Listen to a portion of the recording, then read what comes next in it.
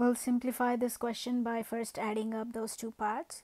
So that's 7 plus 6 times 4th root of 2 over 4th root of 2.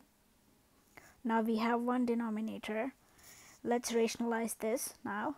So let's write 7 plus 6 times 4th root of 2 over 4th root of 2 and multiply 4th root of 2 cube over fourth root of 2 cube. Let's multiply these in our next step. So that's 7 times fourth root of 2 cube